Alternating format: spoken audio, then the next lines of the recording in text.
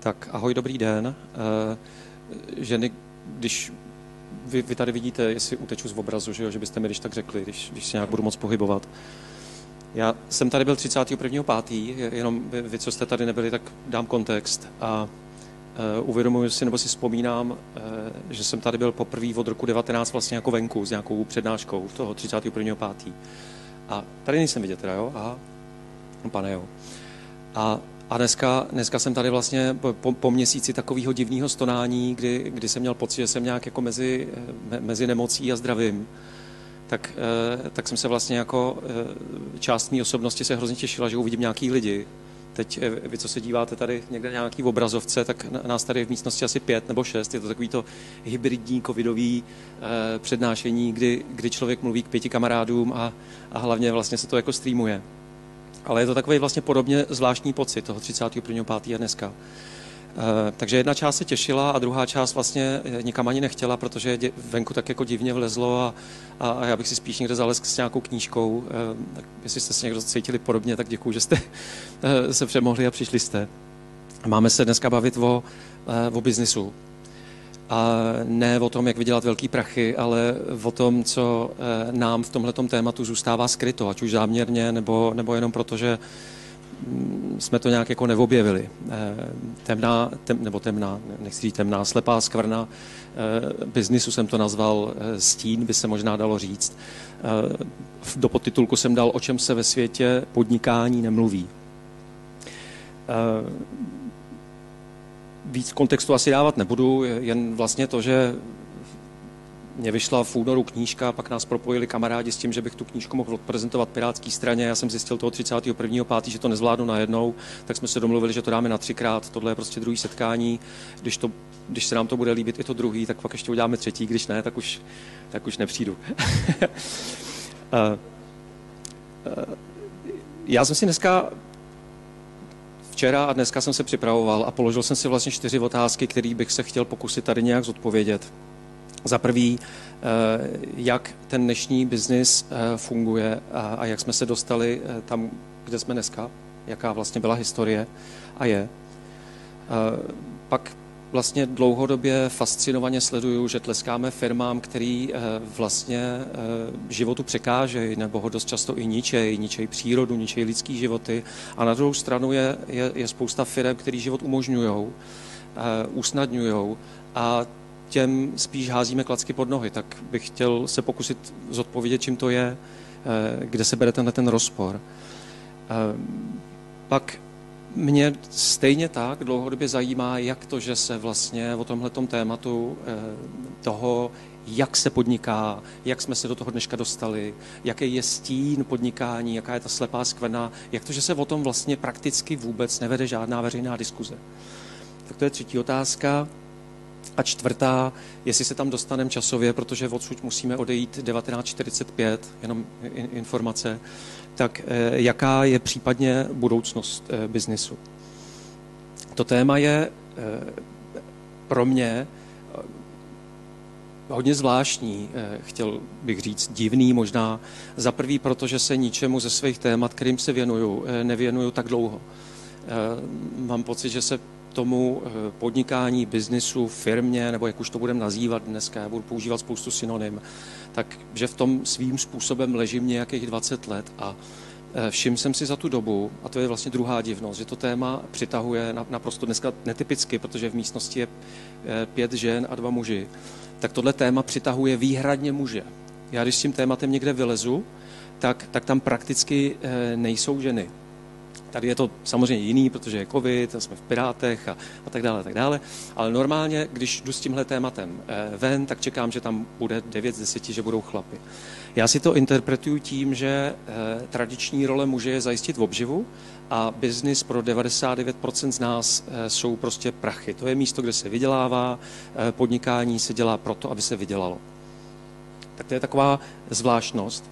A třetí zvláštnost je to, že eh, ta kniha, z který vychází vlastně ta dnešní přednáška, i ta minulá, i případná ta budoucí, tak já se tam snažím analyzovat pět ekosystémů. Eh, rodinu, školu, firmu, společenský systém a planetu. Z těch pěti ekosystémů ve firmě je nejméně reformátorů, je nejméně hnutí, který by se snažili o nějakou přeměnu toho podnikání. Jo, že když se podíváte do školského systému, eh, tak to má svý kritiky, rodina má svý kritiky, planeta má mraky teďka vlastně lidí, kteří kopou za to, aby se něco změnilo. Společenský, ekonomický systém to samý, ale v oblasti podnikání prakticky ty lidi eh, nejsou. Je, je, je vlastně jakoby na akademické půdě eh, se nesetkáte vlastně s tím, že by se tomu tématu dohloubky někdo věnoval. Je to spíš výjimečný. Tak v tom je to téma takový jak, jakoby podivný pro mě. Eh, a to proto, že biznis ovlivňuje prakticky každý aspekt eh, našeho života. Já tady mám devět důvodů, proč by nás biznis měl zajímat, proč by se o tom mělo psát v novinách, proč by to mělo být v každých zprávách, proč bychom se o tom měli vlastně i učit ve školách. Zkusím stručně projít. Za prvý, Eh, valná většina z nás stráví ve firmách nebo obecně v organizacích valnou většinu bdělého života, eh, většinou eh, snahou zajistit si obživu, vyděláváním. Absurdní je, jak se k tomu za chvilku dostaneme, 9 z 10 lidí nemá žádný vztah ke své práci, vlastně nemají tu práci rádi. Za druhý, eh, biznis zajišťuje valnou většinu našich materiálních a vlastně i jiných potřeb. My už si dneska nepěstujeme jídlo, nešijeme v oblečení, valnou většinu toho, co potřebujeme, si jdeme koupit z pravidla právě do firem. Eh, většina firm, tak jak dneska fungují, fungují jako diktatury. Eh, tam mi přijde absurdní to, že když trávíte většinu času v diktatuře, tak demokracie ve společnosti podle mě dlouhodobě není udržitelná. 9 až 20 let eh, se na firmní život eh, připravujeme. To znamená, že firmní svět je zadavatelem pro školní systém. Eh, úlohou školního systému je připravit poslušné dělníky. A zase školní systém funguje taky jako diktatura. O tom jsme mluvili minule. Firmy mají obrovskou ekonomickou moc, tady eh, jenom informace, že ze sta největších ekonomik světa dneska je 29 států. Když byste se podívali před třema lety, před pěti lety, tak vlastně ten počet, počet se navyšuje. Eh, ekonomická moc vlastně předchází politické moci, jak se k tomu snad dostaneme. Takže ekonomická moc je vlastně obrovská eh, nadnárodního biznesu tohle mě vždycky fascinuje, když si uvědomíte, že když se podíváte jenom na Brusel, teď nemluvím o Washingtonu, o jiných centrech biznisu, tak jenom ve Washingtonu najdete 90 tisíc lidí, kteří se věnují aktivně úpravě eh, regulatorního, legislativního prostředí, tak aby vyhovovala víc korporátním zájmům. Když se podíváte na největší utráceče za lobbying, tak se podívejte, co je to za firmy. Eh, Google, Microsoft, Facebook, tři firmy, které eh, měnějí to, jak vnímáme realitu, pak tady máte eh, Shell, ExxonMobil, eh, fosilní průmysl, který přispívá obrovsky ke změně klimatu.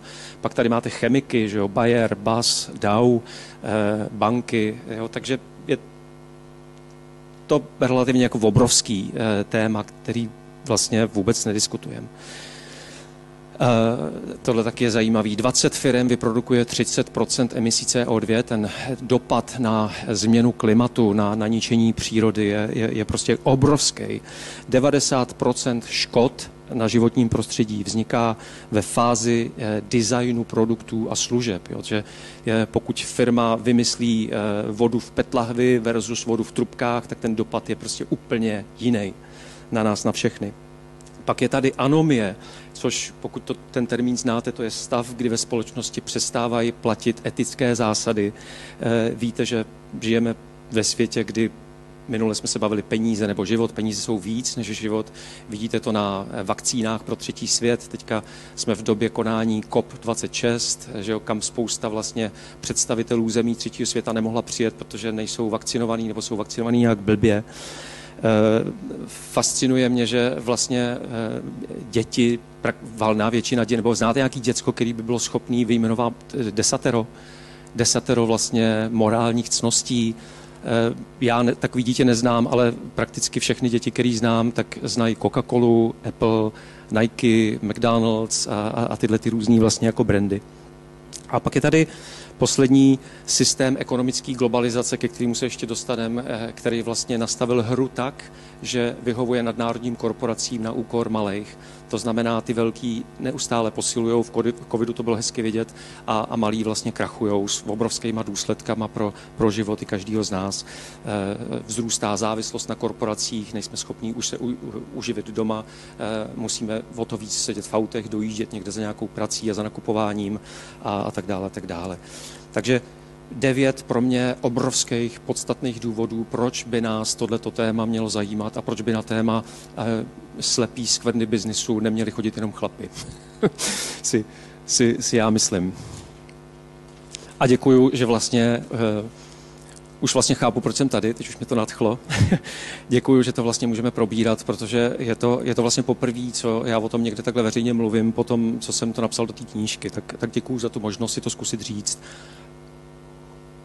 A jak jsem se včera odpoledne a dneska dopoledne připravoval, tak tak já tady mám hromadu vlastně poznámek, do kterých se budu dívat a, a možná to bude trošku nesourodý, tak mě prosím vás pomozte s tím, aby, aby by bylo rozumět, protože eh, mě to, eh, mně to přijde vlastně v obrovský a, a vlastně žasnu, divím se.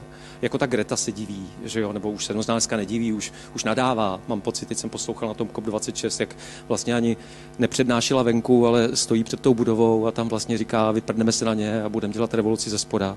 Ale určitou dobu se divila, tak já se vlastně eh, taky jako, divím, jak to, že to nevíme a říkám si, že když bychom to věděli, tak bychom museli být v ulicích a, a, a vlastně bychom se vyprdli na všechny ty zástupné témata, kterých teďka třeba ty předvolební kampaně byly plný. To bylo spousta takových blbostí, vlastně naprosto nepodstatných a ty podstatné věci jsou někde vlastně jako, jako schovaný. Tak. Uh, otázka teda je, proč nás to nezajímá, si pokládám. A mám tady čtyři interpretace. Za prvý, žijeme ve výkonové společnosti. To znamená, když fičíte minule krysí závod, není čas prostě přemýšlet. Jedem. Je potřeba mít, aby jsme mohli být. Za, za druhý, chodili jsme do školy, která nás odnaučila přemýšlet, eh, odpojila nás od sebe a naprogramovala nás ty věci vidět určitým způsobem. Druhý důvod.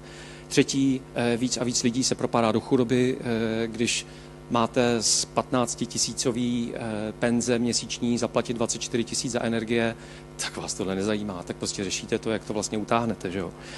Za čtvrtý, a, to mi přijde podstatný, je tady obrovská, eh, minule jsme se o tom taky bavili, reklamní masáž. 4 až 10 tisíc reklamních mediálních sdělení, který každý městský člověk každý den schytá eh, s tím, že valná většina se nám snaží podsunout konzum jako řešení našich problémů, jako smysl života a zaměřuje se na, na personu vlastně eh, korporací a, a státu. Korporaci vlastně my tak díky tomu, díky těm obrovským miliardovým, multimiliardovým rozpočtům, dneska chápeme jako laskavýho poskytovatele potřeb. Vlastně cokoliv potřebujeme, tak je jasný, že se jde někde do nějakého nákupáku nebo na nějaký e-shop si to koupit, že už bychom si to neměli dělat sami, protože to je demode, že jo, starý. Je to místo, kde bychom si měli vydělávat na tyhle ty potřeby. To je prostě jasný, že nebudeme dělat nějaký malý blbý firmě místní, ale že půjdeme do nějaký hezký velký. Eh, je stále jasnější, že je to i náš kmen, že vlastně, jak jsme osamělí, tak když budeme dělat v tom Nike, Apple, McDonald's, ČSOB, Vodafone, tak prostě si tam najdeme tu svoji smečku a, a budeme to prostě, to bude, to bude ta naše rodina. A mám pocit, že eh, spousta lidí, korporaci, eh, ať už tu tradiční kamenou, nebo dneska ještě víc tu digitální, typu eh, Amazon, Uber, Airbnb, Rohlík.cz, Alza.cz, tak chápem jako nejvyšší vývojový stádium eh, vlastně organizací, firmy, což se budu snažit za chvilku vyvrátit. Logicky si pak myslíme, že Amazon je víc než nějaký knihkupectví na rohu. IKEA je víc než nějaký místní nábytek nebo domácí potřeby. Oby Bauhaus je víc než nějaký místní železářství. Eh, Alza.cz je víc než eh, místní elektro a rohlík je víc než nějaký bezbalový divný krámek někde zastrčený, že jo. Prostě namačkám a už to jede, prostě všechno je to krásný, prostě český, podporuje to malý farmáře, je to bio, nádhera. Tak, Eh, mám tady vlastně šest bodů, jsem si připravil. Uvidíme, jak to, jo, tadyhle ještě, no, vlastně ukázka toho, jak tady mluvím o tom rohlíku. Tohle mě tak jako překvapilo. Tomáš Čupr, zakladatel rohlíku, na LinkedInu oznamuje, že dobil další trh. Eh, právě jsme pokořili Madrid, otevřeli jsme centrum Madridu, tisíce lajků, mraky komentářů. A jeden z komentářů mě zaujalo Janis Samaras, eh, zakladatel Kofoli, gratuluje a říká, a teď prosím tě, tě čekají Atény, pět milionů lidí. Jdi do toho. Zajímavý na tom je, že vlastně nikdo nepřemýšlí o tom, že každý další rohlík, každý další Alza box eh, znamená, že zanikne další místní krámek, nebo v naší zemi, kde z těch místních krámků už moc není, tak že se vlastně ty místní krámky neotevřou. Když nebudou místní krámky, nebudeme se potkávat se sousedama, nebude sociální kapitál, nebude důvěra, budeme závislí na korporacích. Tak to je jenom taková jako, jako mikroukrázka. Tak, eh, šest věcí jsem chtěl dneska udělat. Eh, první bod můžu škrtnout, to bylo, proč se vlastně o to téma zajímat. Chtěl jsem se podívat, eh, minul jsme se o tom bavili, budoucnost organizací, jste to tady četli, tak bych se chtěl podívat na, na, ty, na ty stádia vývoje, protože mě to vlastně jako nepřestává fascinovat, jak dobře to vlastně člověku pomůže vidět určitý věci. Pak se chci podívat na to, proč vlastně firma existuje a komu skládá účty, eh, jak je to tam se zodpovědností. Protože je to dominantní místo, kde pracujeme, tak se chci podívat na téma práce krátce. A, a potom, což mi přijde nejpodstatnější, jsem bych se chtěl určitě dostat do těch 1945 a se podívat na hodiny, eh, jak jsme se vlastně dostali do toho dneška, což mi přijde úplně jako jak, jak mě vlastně nebavil dějepis třeba ve škole, jsem si uvědomil na tom, protože to byly samý bitvy a přemyslovci a vlastně úplně vytržený z kontextu, tak tady já vlastně vyplazený jazyk a vlastně žasnu nad tím, co se to vlastně jako dělo v tom středověku, 13. století, 14., 15., 20. mě úplně baví nejvíc a, a vlastně vám to tak jako zapadne, že, že vlastně si říkáte, jak to, že o tom nevím, jak to, že vlastně se o tom nebavíme. Tak k tomu bych se nějak chtěl, chtěl dostat. A a přál bych si zase, aby eh, to přineslo nějakého brouka do hlavy, aby to pomohlo lidem tu, tu, vlastně tu realitu víc vidět, protože když je něco častý, lidská mysl to vyhodnotí jako normální, ono to pak neviditelný. Eh, často stačí to jenom pojmenovat a ono to najednou viditelný je, ty věci jsou velmi dobře vidět. A přál bych si, aby, aby to byl nějaký příspěvek, ta dnešní eh, přednáška, překážka, Eh, do, do nějaký té případné veřejné debaty, kterou si myslím, že potřebujeme jak prase drbání o tom, eh, jaká je ta role biznesu, eh, jak, jak, jak vlastně to na nás všechny prostě dopadá, to, jak, jak dneska podnikáme. Tak, já musím vždycky napít. Bude vás to trošku bavit, a hlavně teda ženy. Myslíte, jo? Muži jsou jasný, ale tak, eh, já jdu na to, eh, budoucnost organizací, četli jste všichni, asi Hanka, jo, Ví, víte, víte, o co jde, jak moc to mám říct, já to vemu z rychlíku, nebo se pokusím aspoň. Eh, v, po, v podstatě jde, pokusím se, pokusím se nějak jako nezamotat v tom, nebo někde jako neutíct, ale v podstatě jde o to, že z dějepisu, z přírody, z biologie víme, že vlastně všechno je v nějakém vývoji. Uh, já jsem použil vlastně ve své knize takzvanou integrální teorii, kterou spopularizoval, co se týče organizací, Frederik Lalů v knize Budoucnost organizací, to jsem tady vlastně poznamenal. A, a chtěl bych s váma projít eh, takových těch sedm až pět základních stádií.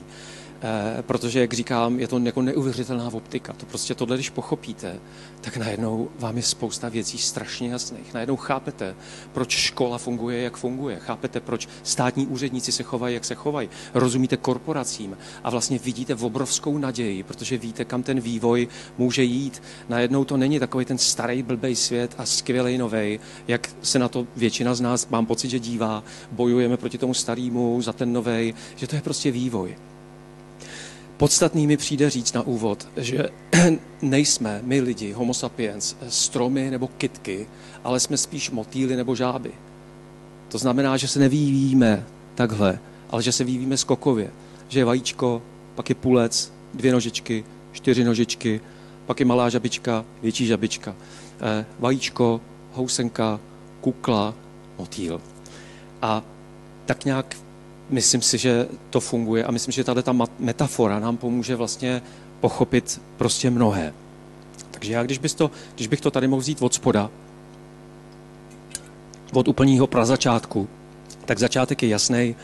Lovci, sběrači, rodinný tlupy o nějakých, eh, jsme tady dole, 250 tisíc let, prostě takzvaně od nepaměti.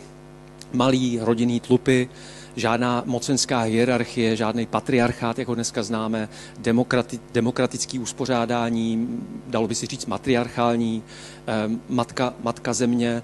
Včera jsem poslouchal z COP26 Indiana, ten, ten říkal matka země a otec nebe.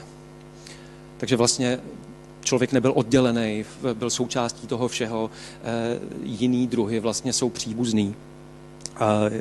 Je to eh, nomádský samozřejmě uspořádání.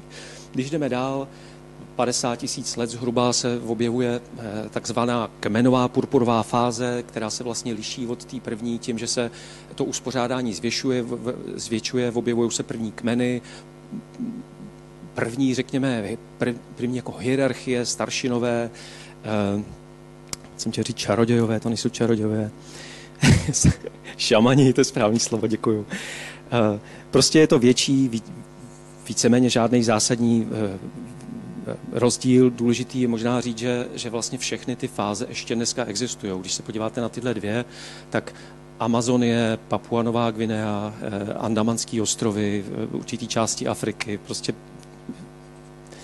zajímavý fakt je, že nikdy v historii lidstva nebylo tolik fází vývoje.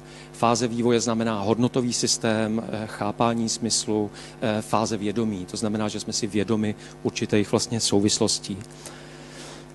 Eh, zajímavý to začíná být tady u, u té červené, někdy se jí říká válečnické fáze, která se začala objevovat někdy 10-12 tisíc let naspátek po tom, co se ustálilo klima, lidi se začali usazovat, začali hospodařit a s hospodařením eh, začal vznikat přebytek, začal vznikat majetek, s majetkem začalo vznikat vlastnictví a boj o moc a strach. To znamená, tato, pro tuhle fázi je charakteristický právě boj o moc, hybnou silou je tam strach, eh, je to začátek vlastně patriarchálního uspořádání, kdy moc přebírá chlap a ostatní ten nejsilnější chlap, alfa samec, pak jsou beta, gamma, ženy, děti a tak dále, jak to, jak to známe. S tím, že eh, tenhle ten model vlastně dneska nacházíte v oblasti, proto tam je i ta fotka gangů, mafií, eh, zkrachovalých států, eh, kdekoliv vlastně je, je vlastně jako nejistota a strach. Do určitý míry tenhle ten model můžete pozorovat i v oblasti covidu nebo předvolebních kampaní, kde, kde vlastně máte možnost to taky zahlídnout. Když bychom šli ve vývoji dál, tak eh, někdy pět tisíc let naspátek eh, v souvislosti s prvníma státama, eh, s rozmachem byrokratických institucí a církví, jak se zvyšoval ten přebytek a majetek, tak začala, začalo, začaly vznikat třídy lidí, který primárně nezajišťovali obživu, ale který už se dokázali živit vlastně z toho majetku. To znamená vladaři, kněží, vojsko, řemeslníci a to množství bylo potřeba nějak uspořádat, takže se vynalezla mocenská hierarchie, tak jak ji dneska známe ze školního systému nebo ze státního, kdy je nahoře nadřízený, pak je lajna podřízených, základem je povinnost, motivací je cukr, byč, základním cílem je předvídatelnost, bezchybnost, řád a jde o, o normy, o, o to, co se smí a co se nesmí. Je to, je to něco, co dobře známe všichni ze, ze školního systému, kde vlastně ten, ten systém i, i ve státním eh, do dneška přetrvává. V církvi, v armádě vlastně to vidíte v tradičních firmách. Když bychom šli dál, tak eh, před pět, pětisty, sedmisty lety eh, s vynálezem eh, korporací a s rozmachem kolonizace bílého muže, když Evropani vyrazili dobývat eh, zbytek světa, tak se objevila takzvaná modernistická oranžová fáze. Já tam mám dneska korporátní, protože to je dominantní fáze, v které jsou dneska korporace, kde už nejde o to kdo je nadřízený, podřízený, nebo tolik nejde o to, kdo je nadřízený, podřízený, co je správný, co je špatný, co se smí, co se nesmí, kdo má jakou uniformu, ale jde o úspěch. efektivita je víc než jakýkoliv pravidla. Efektivita je víc než morálka, etika, jde o výsledky, jde, jde o prachy, o to, kdo bude první, druhý, třetí. Je to klasická meritokracie, to znamená, že je možný se vyšoupnout prostě vejš na základě prostě výsledků. Metaforou tohohle toho, této fáze je, je, je stroj. Přínosem této fáze, obrovským přínosem byla ta vědecko-technologická revoluce, která nám přinesla minimálně ve fázi, nebo ve fázi v části světa, kde žijeme, ten blahobyt, který vlastně dneska je, nás obklopuje. E, pokořili jsme nemoci, na který se dřív běžně umíralo, e, prodloužil se život, je, je, je, prostě přineslo spoustu skvělých věcí. Ve stínu je ale to, že e, tenhle ten náhled eh, přináší spoustu inovací pro inovace, spoustu blbostí se vyrábí, který vlastně vůbec nepotřebujeme, jenom proto, že to musí růst, že, že jde o ty výsledky. Eh, je to eh, obrovským dalším dopadem je, je hrabivost, že, že to v nás vlastně startuje takovou tu jako chamtivost, že Wall Street, greed is good, golden gecko, že to prostě že tleskáme miliardářům, což jsou vlastně ty nejhrabivější z nás, je to, je to vlastně ta hlavní hodnota. Eh, eh, důležitým rysem je krize smyslu. Tam není žádný smysl, protože jde o ten výsledek, jde, jde vlastně o prachy, takže, takže tam vlastně jako je, je prázdno, je tam krize středního věku, je to, je to prostě něco tam chybí.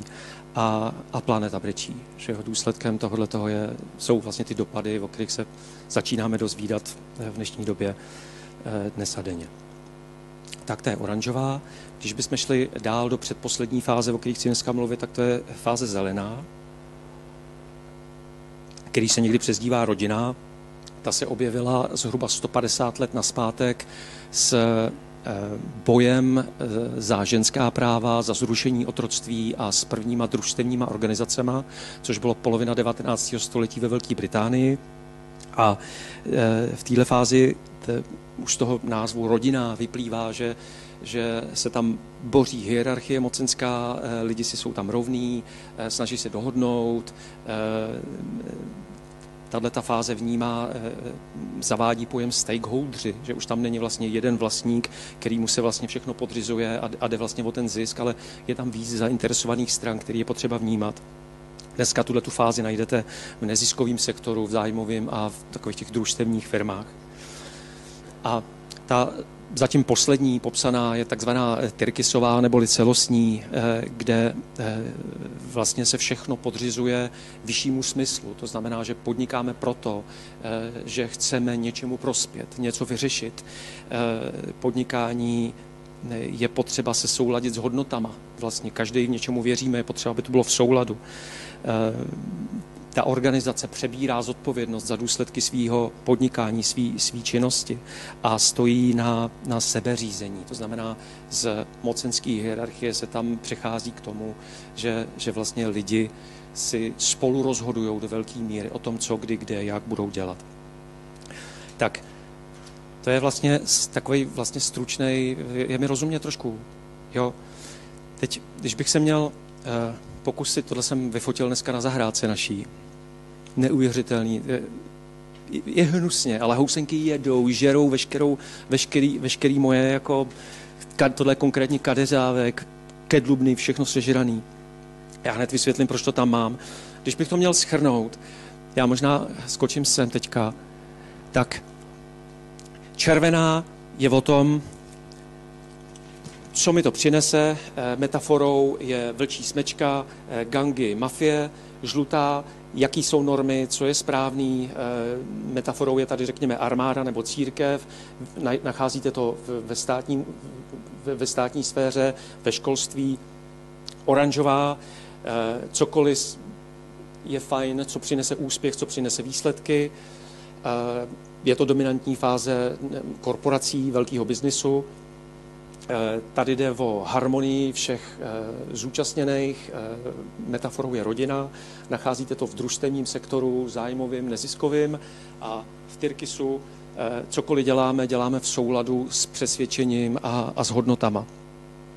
A tady je, pokud tady je metaforou stroj, tak tady je to organismus, vlastně celistvej. Teďka k těm teď jestli máte sílu poslouchat, teď mi to přijde, jestli se mi povede metafora s e, těma, jo, s housenkama, schválně.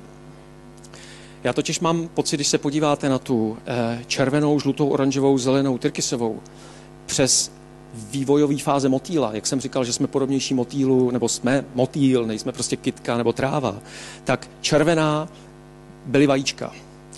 Žlutá, oranžová je larva, zelená je kukla a tyrkys je motýl. Víte, jaký je rozdíl mezi motýlem a larvou? Larva žere a vůbec neřeší. Dívejte tadyhle, hele. Tohle, takhle je to jako typický obrázek na mý zahradě. Larva žere a je úplně jedno, jestli to sežere nebo ne. My jsme dneska dominantně ve fázi larvy. Motýl na druhou stranu, ten lítá, nějak jako opiluje a vlastně dává. Je to všechno tak jako v harmonii, nežere, tak jako larva. A tohle mi přijde obrovský. Uvědomit si, že to dominantní vývojový stádium dneska globálně je prostě larva. A jestli máme přežít, jestli se máme postavit těm krizím, kterým čelíme, tak jediná podle mě šance je uspíšit evoluci směrem k tomu Tyrkisu. A to tak, že půjdeme na okraj, protože spousta tyrkisových organizací vzniká vlastně na okraji společnosti, ne v mainstreamu, ale na okraji. Na tom okraji ty organizace podpoříme, propojíme tak, aby se překlopili do toho mainstreamu. To je moje naděje.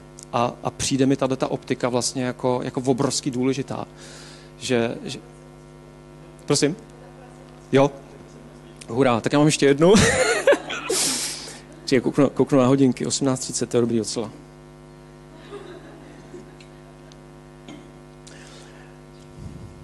Tak. Přes zemědělství totiž mám pocit, že se to taky dá pochopit. A, a mně přijde ty metafory, že jsou vlastně úplně nejvíc, že to na tom pochopíme. E, asi všichni chápeme, jak funguje zemědělství, že máme takový to na jedné straně průmyslový, kde, kde vlastně ty, že jsou takový ty veliký lány, monokultury, těžký traktory, pesticidy, e, jde vlastně o ten výsledek, taková ta oranžová, žlutá fáze, prostě těží se, jede se uvědom si, že to není úplně fajn, tak tam vývoj jdeme dál do té zelený, eh, kde se mluví o ekologickém zemědělství, že už se jakoby snažíme nepoužívat tolik těch pesticidů, ideálně žádné. Eh, ty traktory jsou eh, vlastně ne už tak těžký, orba už není tak hluboká, ale vlastně jde nám o to, aby jsme získali ty zdravé potraviny, jinak nic moc vlastně neřešíme. Když byste šli dál do toho Tyrkisu, tak se mluví v zemědělství o takzvaném regenerativním zemědělství, který už se snaží zajistit ty zdravé potraviny pro nás, ale zároveň se snaží, aby potom pěstování nebo chovu ta půda, voda a krajina byla zdravější než předtím. Tak to mi přijde taky vlastně taková vlastně jako relativně silná metafora uh, žlutej, žlutá oranžová fáze, zelená a tyrkysová celostní, kam se prostě musíme prostě pohnout. A když se podíváte, nebo když ještě zůstanu vlastně v té české krajině, tak tam vidíte vlastně v lese, vidíte tu smrkovou monokulturu. Víme teď už pár let, že, že to je průser, že když jsou ty suchý roky, tak naletějí ty kůrovci, sežerou to všechno, je to vlastně jako v pytli. A když se podíváme na pole, tak tam vlastně v určitých fázích roku je to jenom žlutý nebo je tam nějaká ta kukuřice, ozimá pšenice, co vlastně ty tři základní plodiny, které se tady v těch obrovských vlastně lánech e, pěstujou. Fascinuje mě vždycky, když přejedu do Rakouska a teď tam najednou jsou ty mikropolíčka a, jsou tam ty dýně a slunečnice a, a já nevím, co všechno. E, vždycky brečím, že kupujeme slunečnicový semínko z Číny a, a nebo, nebo lněný z Indie Eh, přičemž to jsou obě plodiny, které tady rostou, ale u nás se nepěstují, protože my máme řepku, máme prostě monokulturu. Proč o tom mluvím?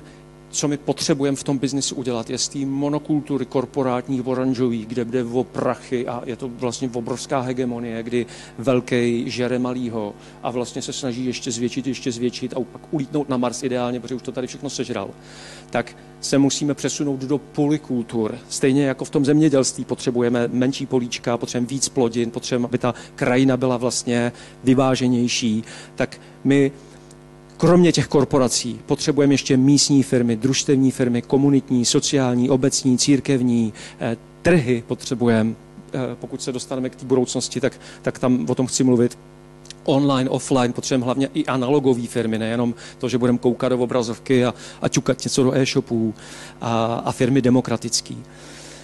Tak, eh, no, tolik k evoluci, jestli, jestli mi bylo rozumět. Jako, jako bych řekl rámci, v kterým vlastně bych řekl, že je pak násobně líp rozumět tomu, co se to vlastně děje. To bylo smyslem této části. Tak, pokud bych šel, škrtám, jo, ať vidíme, jak nám to ubejvá, bych šel, a tohle je relativně malá část, smysl. To znamená, proč vlastně existuje ten biznis, co, co je vlastně smyslem firem. Převažující fáze je teda ta modernistická oranžová, kde jde o výsledek. Vzpomínáte? Paragraf 420 občanského zákonníku definuje podnikání takhle. Kdo samostatně vykonává na vlastní účet a odpovědnost výdělečnou činnost živnostenským nebo obdobným způsobem se záměrem činit tak soustavně, to je, to je jazyk, to mě nerozumím, ale v podstatě jde o to, vidíte to tam, že smyslem podnikání je vydělat prachy.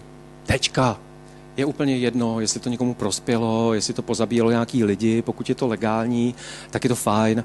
A víte, dneska je to už takový veřejný tajemství, že čím větší jste jako podnik, tak o to větší máte vlastně možnost si tu legislativu upravit, vy z těch 90 tisíc lobbystů, takže jde o ty prachy, no. To je smyslem.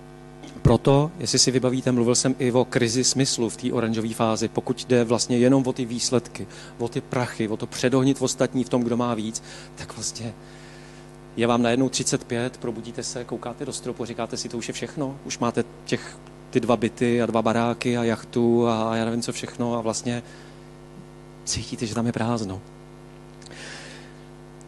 Hlavní hodnota je hrabivost, to už jsem říkal, je soutěž, soutěž o to, že o co jde. Já jsem si vzal časák, tady takový pěkný. Ideálně, když podnikáte, tak, tak jde o to dostat se do tohohle seznamu, že o těch vlastně sledujete, jestli jste druhý, 15., 20. Teďka ten pán, jak e, s tou energetikou, e, že jo, tak ten byl 26. Vlastně se mu podařilo těch 900 tisíc lidí zblbnout. Eh, někdo mluví o takzvaném ekonomickém sportu, že vlastně smyslem toho podnikání je poměřování se s těma ostatníma. Eh, že to je vlastně jako atletika, akorát trošku jiná, že, že vlastně skupujete ty firmy a, a, a různýma jinýma technikama, taktikama, strategiemi se snažíte vlastně kumulovat to mění, abyste se vyšvihli na tom žebříku, to je žebřík vlastně, tam se ty lidi předhánějí na, na žebříčku, kdo bude prostě vejš. No. Tak tolik k úloze Eh, teďka vlastně k zodpovědnosti. Tohle je geniální otázka. Tohle je, tohle je vlastně, jestli můžu dál držet metaforu těch vývojových fází, tak tohle je oranžová otázka. Člověk v oranžové fázi vývoje, to znamená v té korporátní, v té, kde jde o ty výsledky, se ptá, jestli firma má být společensky odpovědná, nebo jestli může být společensky odpovědná. Teď přijde člověk, který eh, je v nějaký tý, řekněme, tyrkiso, tyrkisový už fázi vývoje a řekne si, moje děti by řekly, what the fuck. Co to jako je? To je jako kdybyste se ptali, mají mít ženy volební právo, jo, nebo nebo máme znovu zavíst otroctví. Vlastně je to podobně absurdní otázka, že, že vlastně jasně, jako přeci nemůže firma prasit, nemůže zabíjet lidi, nemůže ničit přírodu, nemůžeš prostě na klimatickou konferenci přiletět tryskáčem a teď tam prostě ostatním vysvětlovat, že budeš dál zabíjet planetu, prostě, protože já nevím co. To prostě nejde. Tak to je vlastně zajímavý takový jako střed, pak tady ještě jeden takový hezký citát. Eh, tohle je nějaký developer český. Eh, když chcete udržet firmu, nemůžete v biznisu zastávat absolutně morální hlediska, eh, tvrdí. No, tak jenom jako převažující oranžo, žluto-oranžový prostě náhled. S tím, že od toho zeleného, od té zelené fáze vejš, zelenová Tyrkisová, si uvědomujete, že už nemáte co se týče skládání účtů, eh, nemáte eh, v tom, eh, vůči komu se zodpovídáte, už jenom toho vlastníka. Už nejde jenom o to dodat každý rok prostě těch 10% nárůstu.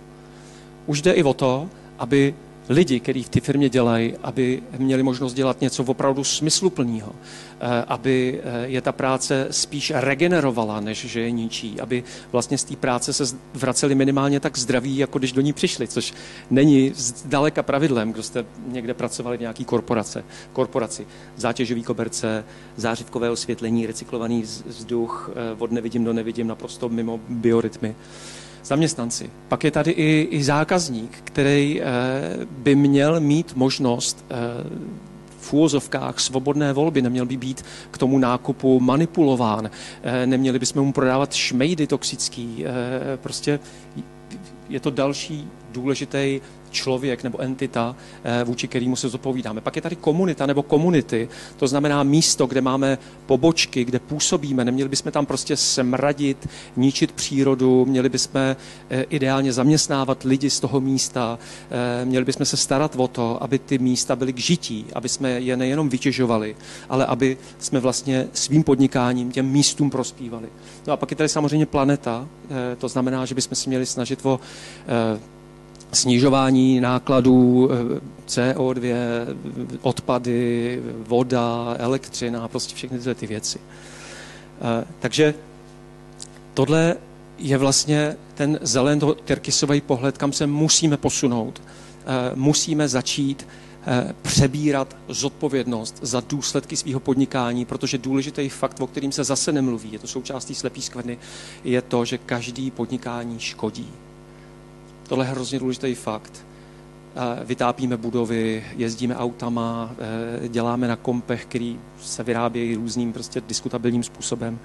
Takže je nutné si tohle připustit a začít za to přebírat zodpovědnost.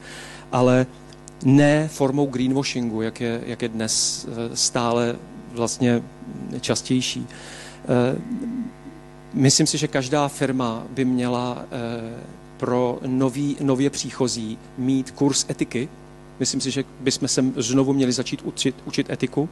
Každá firma by měla mít etický kodex, kde by mělo být definováno, pro koho děláme, jak děláme, eh, jak se zodpovídáme ze svých ze svý činností. Eh, myslím si, že veřejně obchodovatelné korporace by měly být regulovaný, eh, co se týče zodpovědnosti, protože jejich cílem, já se možná k tomu dostanu, nebo už se do toho teďka zamotávat. A a pak si myslím, a tohle je taková spíš filozofická do budoucnosti, eh, že máme, co se týče velkých firm, tak jsou veřejně obchodovatelní, kdy vlastně neznáte vlastníka, tam jsou mraky akcionářů, a pak jsou firmy s konkrétním vlastníkem, kdy eh, si myslím, že se posuneme ve vývoji po tom, co ty vlastníci se uzdravějí, co se vlastně zahojejí, zahojejí si svý traumata, napojí se znovu na sebe, aby vlastně neměli takovou potřebu uh, hrát tu hru o to, kdo nahrabe víc, eh, kdo je vlastně vejš v tom Forbesu, ale aby si uvědomili, že, že práce je formou uh, sebevyjádření, že, že vlastně podnikání by mělo sloužit zase zpátky, jak už tomu vlastně v minulosti bylo. Tady jenom taky jako tohle klasický teďka greenwashing, hospodářský noviny mají speciál, eh, kdy se věnují zelenému podnikání. A teď tady eh, rozhovor eh, s Kofolou, kdy vlastně Kofola je nám předkládána jako vzor ekologického podnikání s tím, že se tam přetahují tuny vody v petlahvích, napříč Evropou, nezdraví vody, eh, petlahev, potenciálně toxická, než kvůli, že se přeprodává vzácný veřejný zdroj za, za, za, prostě za peníze. Je tam spousta vlastně v DNA toho biznisu věcí, které škodějí a tyhle ty rozhovory eh, a, celý tohleto PR kolem je, je o tom, eh, jak ty firmy dělají ty hezké věci, že třeba chovají včely, nebo pěstují bylinky, nebo auta jejich teďka už jezdí na vodík, nebo, nebo eh, petlahve jsou z recyklovaného plastu, nebo voda už se teďka vozí v sudech a bude se prodávat prostě jako točená. A různý takový vlastně jako kudrlinky, který ale úplně míjejí tu podstatu. Oranžovo-žlutý náhled. Tak tak to není ta cesta, protože si myslím, že to je ještě horší, než kdyby jsme vlastně jako popírali ty věci. To, že odvádíme pozornost přes tady to, že si dáváme vlastně falešní příklady. Tak, tohle přeskočím. Tolik ke smyslu a zodpovědnosti, jestli mi bylo rozumět. Linda se tváří tak vážně. Jo, dobře, dobře. Kolik je? 18.44, tak to je dobrý. Práce. Proč práce? Mluvil jsem o tom, že dominantním způsobem, možná jsem o tom nemluvil, dominantním způsobem obživě dneska zaměstnání v centralizovaných eh, velkých organizacích. Většina z nás dneska eh, nepracuje tak, že by se běhlo z horního patra dolů a otevřelo si svůj krámek, svoji dílnu, šlo na pole, eh, svoji ordinaci prostě dole v baráku. Prostě většina z nás sedne někde do auta nebo někde na MHD a jede někde do nějaký větší organizace, kde jsme prostě zaměstnaní. Práce je další vlastně téma, eh, kterýmu se leta věnuju a vlastně taky žasnu nad tím, že nad tím nežasnem. že je to vlastně šílený.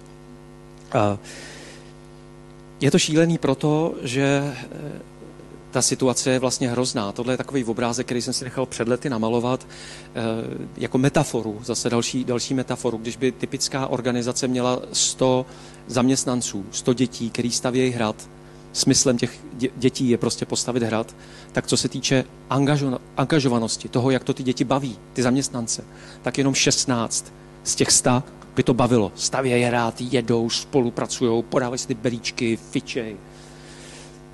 15 to tak nebaví, že přemýšlej, jak by tam mohli těmhle těm 16 debilům uškodit. Jo, takže jim to tam různě bořej a, a vlastně aktivně vlastně se snaží uškodit.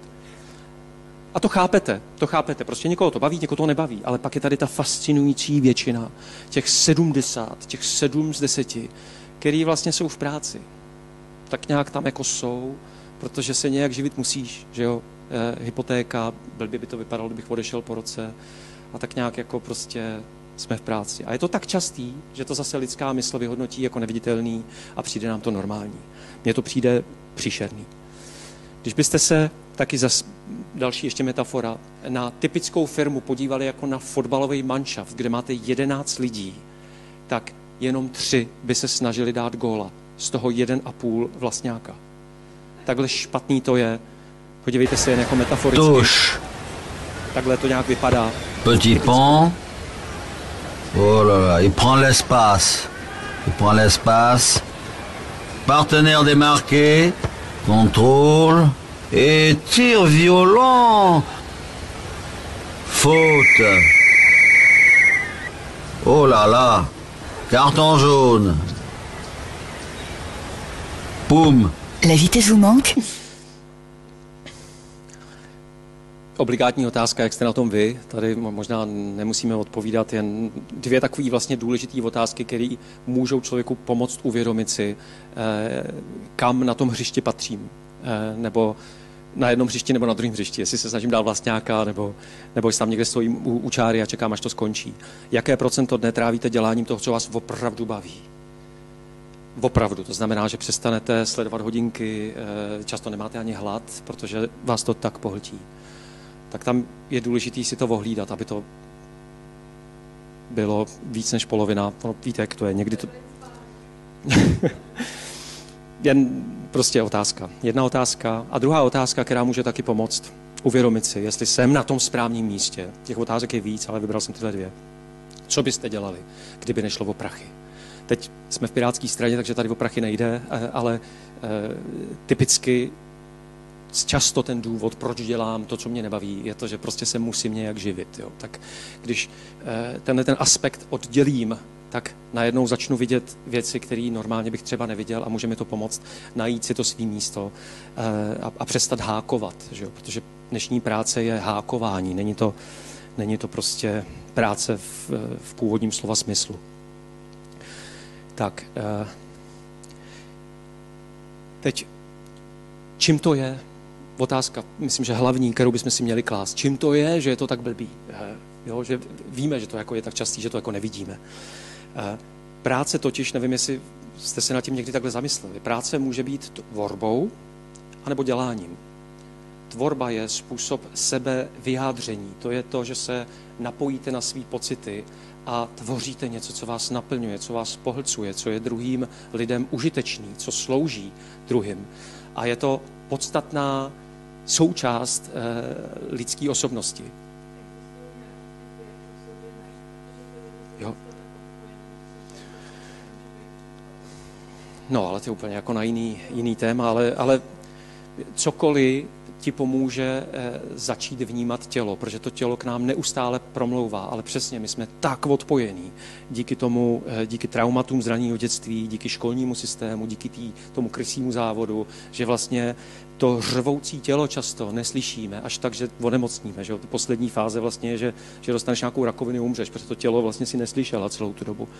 Takže to může být eh, meditace, to může být vlastně cokoliv, těch technik jsou mraky, ale, ale tělo vlastně k nám promlouvá. Co chci říct je, že, že buď tvořím, nebo dělám.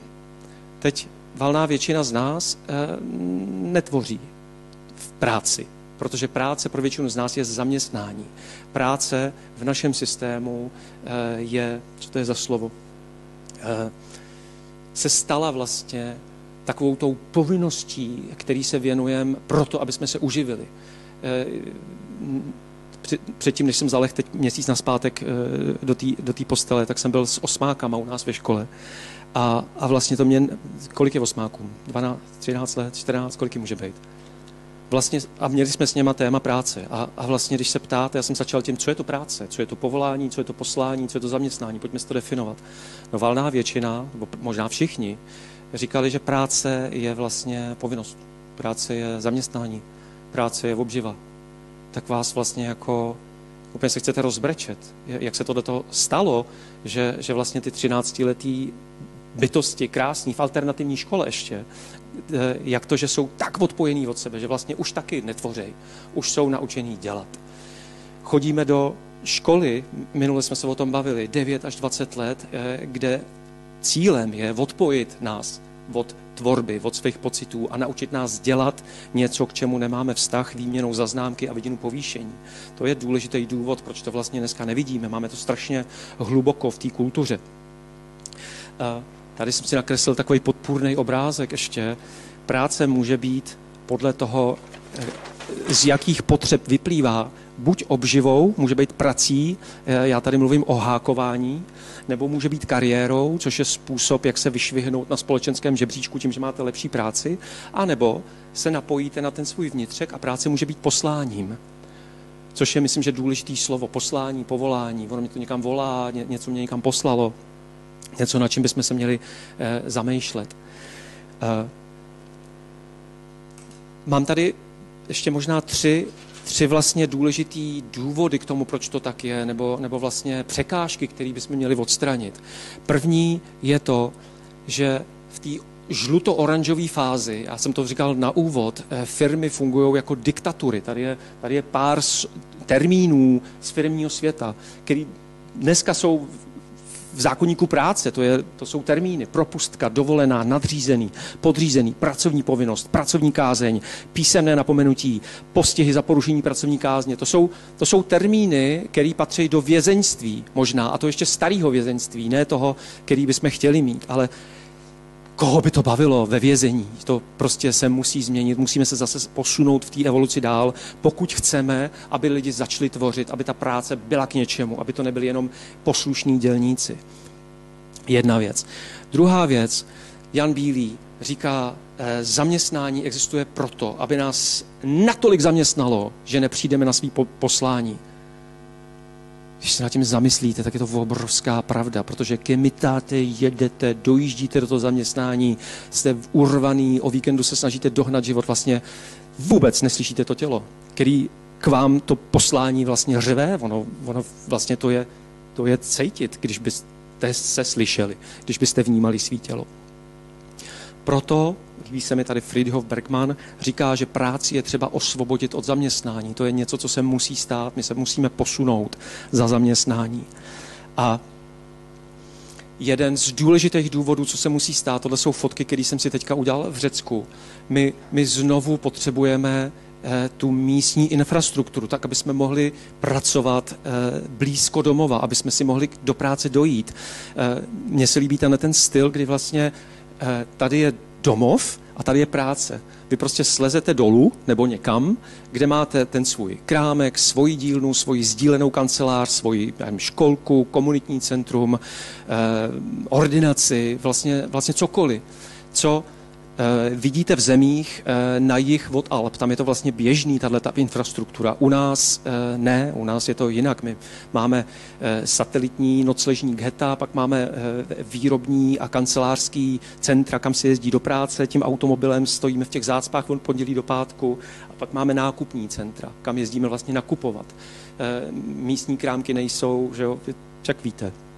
Takže tohle myslím si, že, že by se mělo stát a já prosím vždycky, když potkám nějakého architekta, eh, prosím, postarejte se o to, že se takhle bude prostě stavět, stavět líp, nebo víc.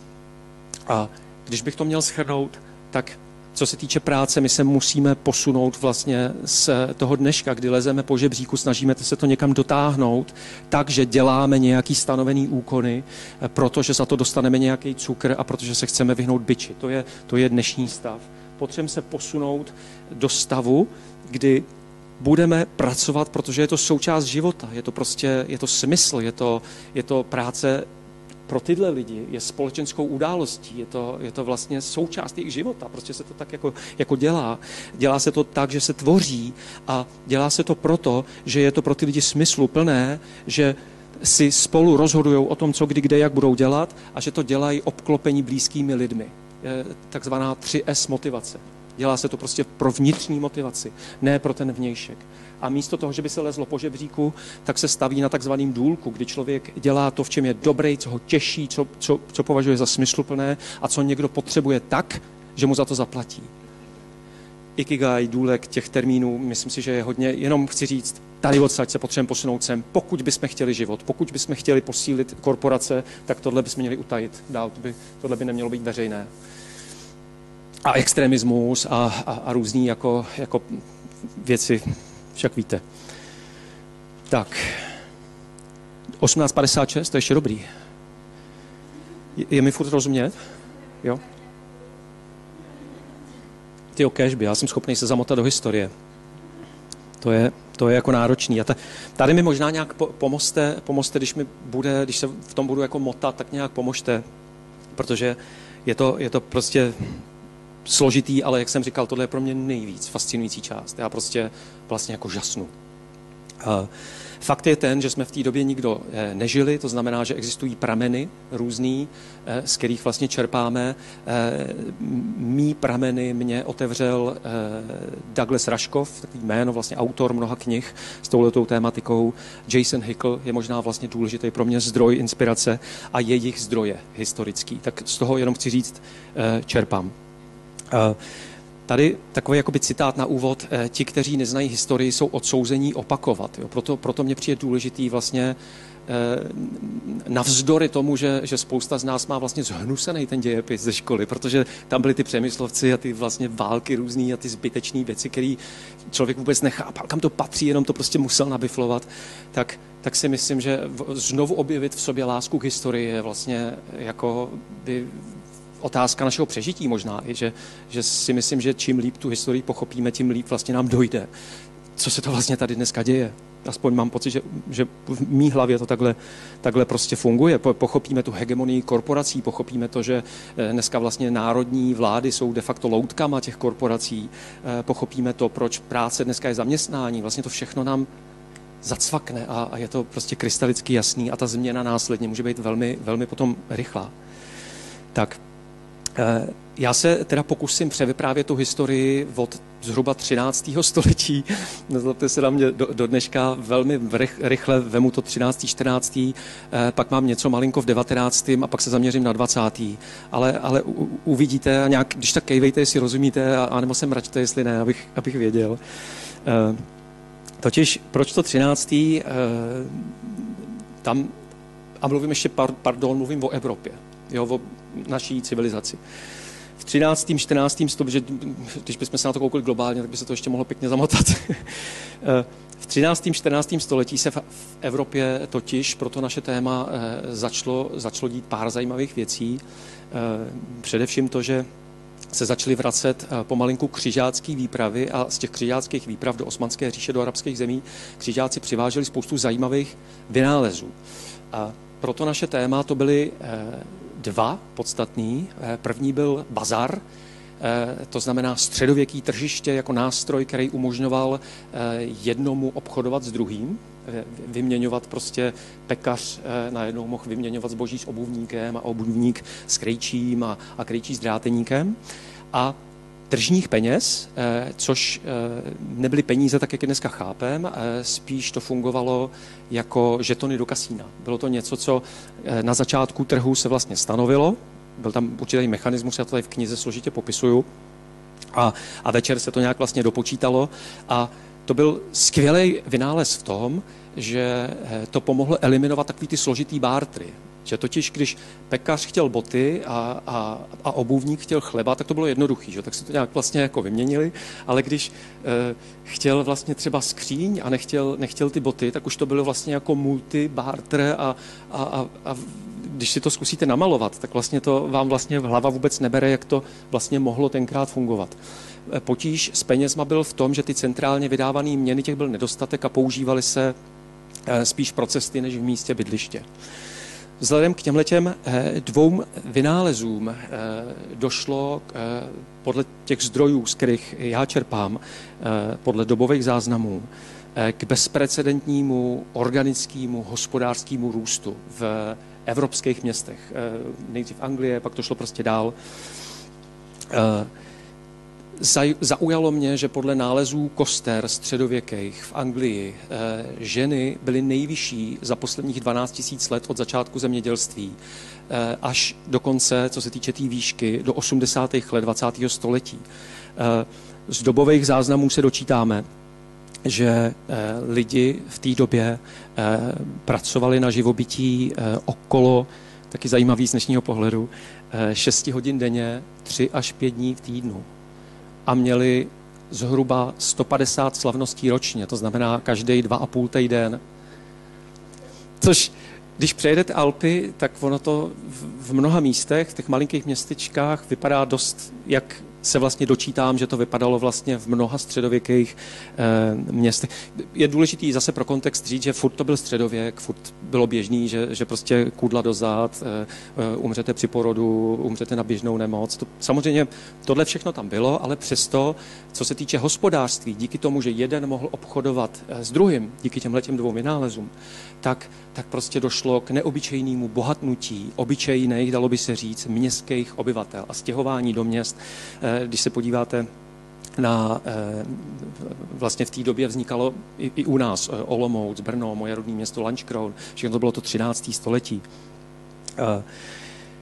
Jak šel vývoj, tak samozřejmě tohleto bohatnutí těch městských lidí začalo ohrožovat šlechtu.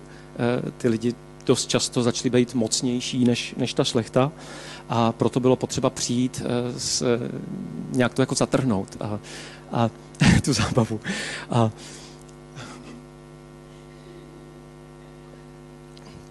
tu zábavu těch 150 dní.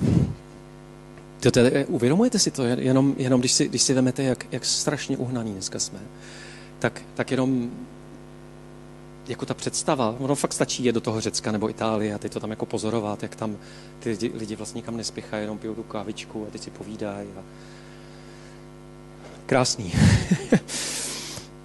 Takže ty eh, dva protivynálezy, řekněme, koncem 13. století v Anglii a, a, a následně v dalších královstvích, eh, ustanovili povinnost používat centrálně vydávané měny, to znamená, že de facto zakázali ty místní měny. Dneska bychom těm tržním penězům řekli místní, já nevím, jestli to znáte, občas se to někde objeví, je to takový taky jako poloilegální, není to moc častý v naší části světa, ale lokální měna, místní měna, tak došlo de facto k zákazu tohohle a k povinnosti používat pro transakce ty centrálně vydávané peníze. A následně koncem 14. století, a tohle je proto naše téma obrovský důležitý milník, došlo k ustavení takzvaného oprávněného monopolu, chartered monopoly eh, v angličtině, což znamenalo eh, zase de facto zákaz toho drobného podnikání. To jest, pokud někdo chtěl šít šaty, tak se musel od té doby nechat v tom daném království, pokud už to tam bylo, nechat zaměstnat u toho královského krejčího. Pokud někdo eh, chtěl obchodovat s kořením, musel se nechat zaměstnat v té obchodní královské prostě společnosti. A kromě toho, to tady nemám vlastně jako tyhle ty dva protivynálezy jsou podstatní jako protiváha těmhle těm dvou eh, věcem, který přispěli k tomu obrovskému organickému růstu, tak tady bylo od 15. století ještě takzvaný ohrazování, což eh, je, je zajímavý v tom, asi kdo studujete, tak víte, eh, do té doby velká část půdy byla v takovém jakoby nevlastnictví ve formě, používám někdy slovo občina, která umožňovala běžným lidem mimo města se uživit. Eh, v Anglii zjistili, že je výnosná vlna a začali vlastně, eh, dnes bychom použili slovo privatizovat, vlastně šlechta, eh, vládnoucí kasta začala vlastně tu půdu zabírat tak, že už nebyla k dispozici těm běžným lidem. To byl vlastně jakoby třetí, třetí důležitý milník.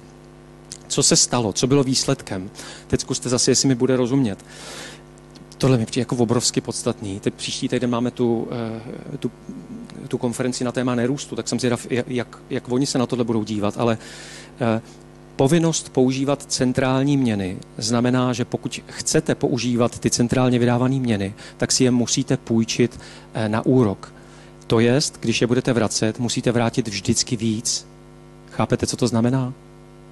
To znamená, že ekonomika musí, musí růst a jsme, jsme vlastně, vlastně u jádra té naší dnešní pasti kdy, kdy mi vlastně to furt musí růst. Korporace, ten, ten ustavení toho oprávněného poko- eh, monopolu byl, bylo vlastně začátkem korporace. To, to byl... Mhm. No,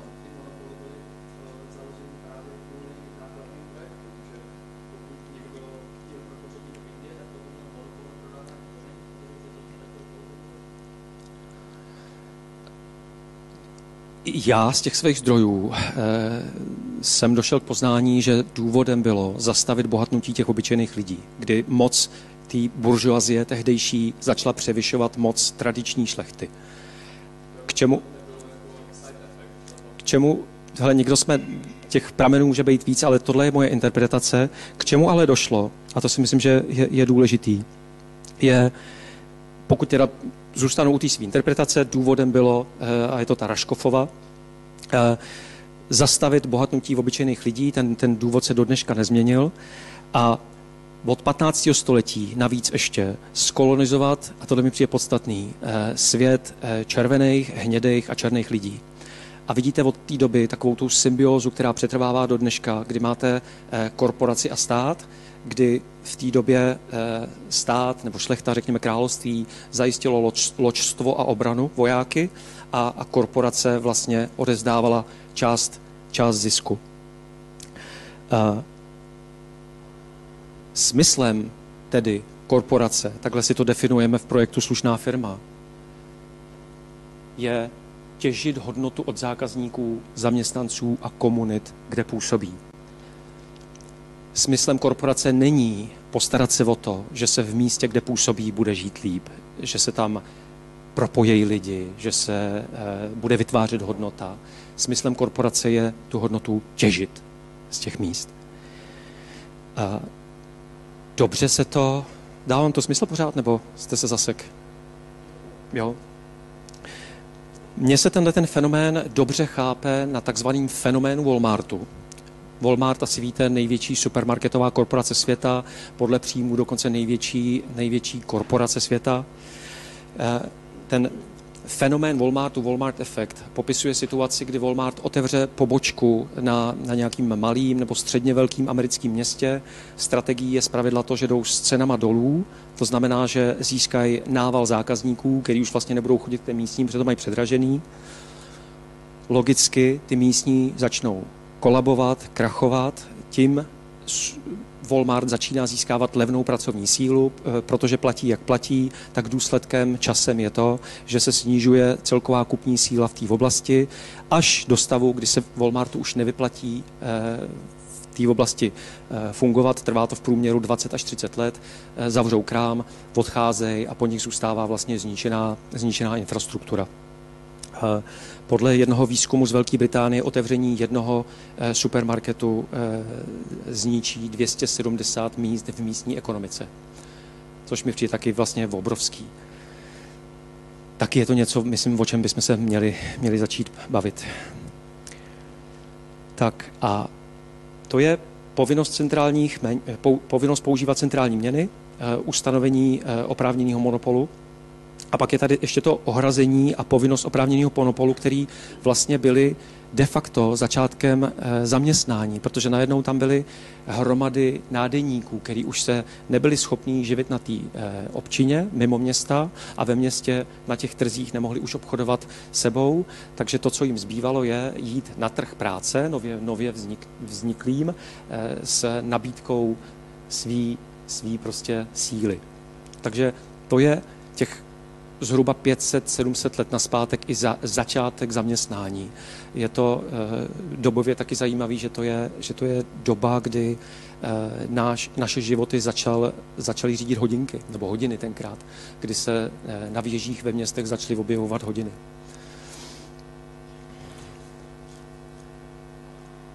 Tak a, a tohle je nejpodstatnější slide e, celého dneška jestli by se mi už nic jiného nepodařilo, tak tohle byl úspěch. 1910, to je ještě dobrý. Když bych uh, to měl zčernobílit a jsem tady v tom v té oranžové fázi vývoje, v té, uh, řekněme, korporátní, tak používám uh, ten termín degenerativní podnikatelský model. Vidíte tam tu pyramidu, kde cílem je extrakce hodnoty. Je, je, je tomuhle třeba rozumět, když, když řeknou, těžba hodnoty. To znamená, kdekoliv firma otevře pobočku, tak cílem je vytěžit tam tu hodnotu, prodat tam co možná nejvíc za co nejmíň. Ne to, aby, tam, aby se tam těm lidem žilo, žilo líp. Je, je mi v tomhle rozumě? Je nutný, aby to rostlo. Jsme si vysvětlili, proč. Funguje to dohromady jako stroj, na lidi je nahlíženo jako na zdroje. Základem je mocenská hierarchie nadřízených a podřízených a škody se takzvaně externalizují. To znamená, mm, ta organizace za to nepřebírá zodpovědnost, prostě se to přenáší na druhé. A ta legislativa je i tak nastavená, prostě tak to je. Vedle toho je regenerativní podnikatelský model, eh, kde mám symbol vlastně jako kruhu, eh, kde tím protipólem těžby hodnoty je vytváření hodnoty, že ta firma funguje, nebo ta organizace funguje tak, aby vlastně ta hodnota v místech podnikání vlastně vznikala, ne aby se těžila, ale aby možná tady se snažíme ty lidi oddělovat, aby byli závislí na těch našich produktech a službách. Tady je, se snažíme propojovat, tak aby mohli vlastně podobně jako v tom 14. století fungovat jeden s druhým a aby vlastně mohli bohatnout. Místo toho, aby ta firma byla co největší a dostala se do toho Forbesu, tak se hledá správná velikost. Eh, pro někoho je správná velikost one man show, pro někoho to je pět lidí, pro někoho to je 500, prostě každá organizace má svoji velikost a ta vlastně se hledá. Metaforou je tady ten organismus, není to stroj, ale je to vlastně živý organismus, kde ta struktura je vlastně úplně, úplně jiná než, než, ta, než ta mocenská, eh, demokratická, čo řekněme. Základem jsou kruhy a e, ta organizace se snaží přebírat zodpovědnost za, za důsledky svého podnikání. Není tam, není tam ta externalizace. Tak. Tak, ještě tady je velký kus historie. Máte ještě sílu? Uf. Jsem si uvědomil. Už jsem si myslel, že to je za náma.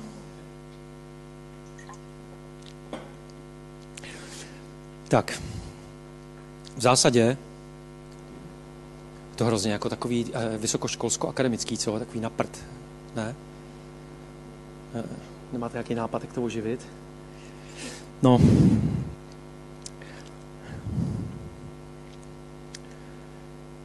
Dobře, tak já jdu dál. v zásadě, když bych to měl zase nějak zjednodušit nebo vytáhnout z toho ty důležité body, tak korporace vznikala ve třech eh, stádiích. Eh, v pozdním středověku vlastně vznikly ty základy, o kterých jsme se teďka bavili. Koncem 19. století eh, získala korporace právní subjektivitu, to znamená získala stejný práva, jako má člověk z masa a kostí. A ve 20. století se korporaci podařilo přetvořit občana na konzumenta. A tam je devět takových vlastně zajímavých milníků, který, který chci ukázat. Zaujalo mě takhle, když jsem, se, když jsem ležel v té historii, jak, jak moc vlastně eh, ty korporace ve svém vývoji nabíraly moc, až tak, že, že tady mám citáty od dvou amerických prezidentů, eh, jo, že, že je to vlastně úplně jako nadčasový, co ty lidi říkali, když si to přečtete. Doufám, že aristokracií našich zbohatlých a vlivných korporací rozdrtíme hned zárodku, neboť už teď si troufá poměřovat síly s naší vládou a vzdoruje zákonům naší země. To je vlastně by se dalo dneska, dneska, když sledujete debatu kolem Facebooku třeba, tak to jsou vlastně padají stejné věci na, na, na evropské půdě nebo ve Washingtonu. Nebo tadyhle Lincoln. V blízké budoucnosti vidím přicházet krizi, jež mě zneklidňuje a obávám se o bezpečí své země. Korporace díky válce usedly na trůn a čeká nás období korupce na nejvyšších místech. Síla peněz bude v zemi usilovat o prodloužení své vlády a bude proto záměrně využívat předsudků lidu, dokud se veškeré bohatství nebude soustředit v rukách několika málo privilegovaných osob. To ovšem zničí naši republiku.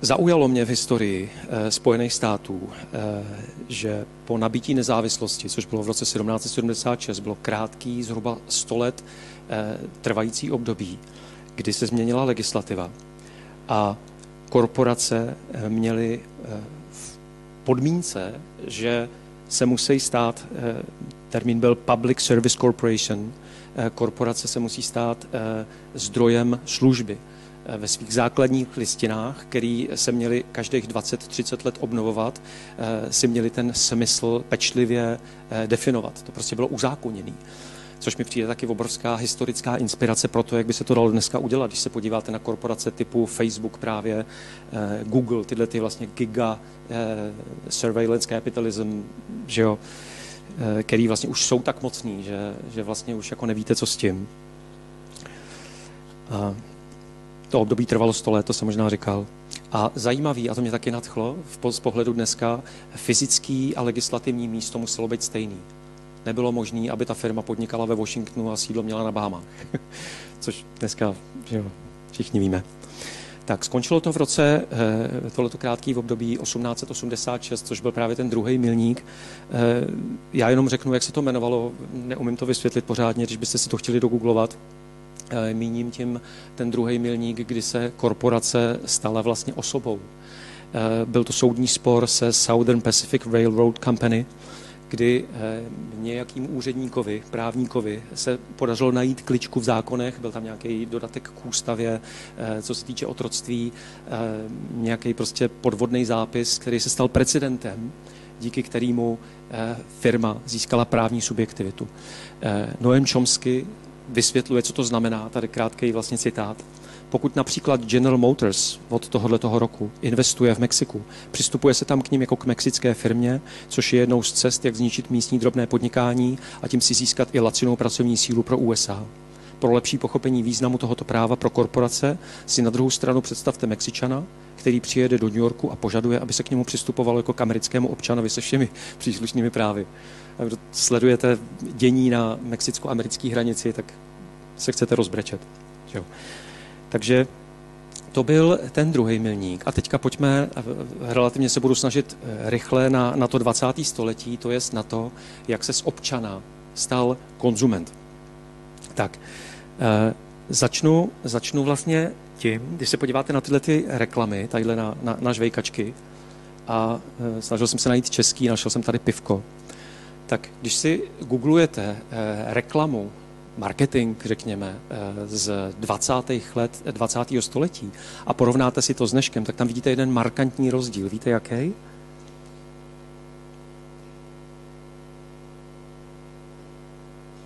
Reklama se v počátcích, ještě předtím, než byl občan konzumentem, zaměřovala na praktické aspekty toho produktu. To znamená, tadyhle to má prostě skvělou chuť, dejte si žvejkačky a tady, když vám je vedro, tak si dejte pivko. Nejsou tam žádný eh, polonahý, prsatý ženy, nebo tady, když si dáte pivo s kámošema, tak už se nebudete cítit osamělý. A já, já nevím, co prostě všechno, tak jak, jak je to dneska, že vlastně se začala měnit eh, reklama a marketing eh, tak, že se od těch praktických aspektů začalo přecházet té psychologické ma- manipulaci dneska známý, že, že vlastně se to začalo trefovat do těch našich bolístek, do těch mindráků a my jsme si začali ty věci kupovat proto, aby jsme se vlastně tím jako vylepšili, zvětšili, opravili, eh, vyřešili si tu, ten smutek, osamělost. To byl první důležitý milník. Před Vánocema v roce 1924, tohle je takový vlastně známý fakt, eh, se sešli tehdejší výrobci žárovek, eh, takzvaný Febus kartel. Eh, žárovky tenkrát vydržely 2,5 tisíce hodin svítit a oni se sešli proto, aby se dohodli, že protože biznis nejel, bylo potřeba něco vymyslet, tak aby žárovky vydržely maximálně tisíc hodin. Tohle se nějak podařilo ustanovit, a vlastně eh, to eh, byl začátek eh, té dnešní jednorázové kultury vyhazovací, kdy my už jsme dneska zvyklí. Tohle je konkrétně fotka Bosch sekačky, kterou jsme si koupili se sousedama, posekali jsme to asi třikrát a, a pak se to rozpadlo, protože vlastně to je takový plastový kolečko. Jo, a, a těch příkladů, nebo tadyhle, já používám Apple a tady mám ten kabel, jo, a tohle, tohle vlastně jako po dvou letech oka, vždycky měním, jo, to prostě se úplně, dívejte, jak to vypadá, jo, prostě rozpadlý, už, tady už jsem to musel zalepit, protože už mi do toho nešla elektřina. Jo, plánované zastarávání. Krásný příklad jsou silonky, třeba, který v té době, to víte asi, kdo jste s tím zabývali, tak to bylo tak silný, že, že prostě jste to mohli použít jako tažní lano. Já ze svého dětství ještě si pamatuju opravny silonek. Eh, dneska to je jednorázová věc. Natáhnete, vyletí oko a vyhodíte, že jo, tak si koupíte hnedka. Dneska jak je zima, já jsem takový nakřapaný, tak jsem si na letní šel koupit ponožky. a chtěl jsem si koupit jedny ponožky. Jedny si nekoupíte, musel se koupit tři. Balík. Prostě legrace.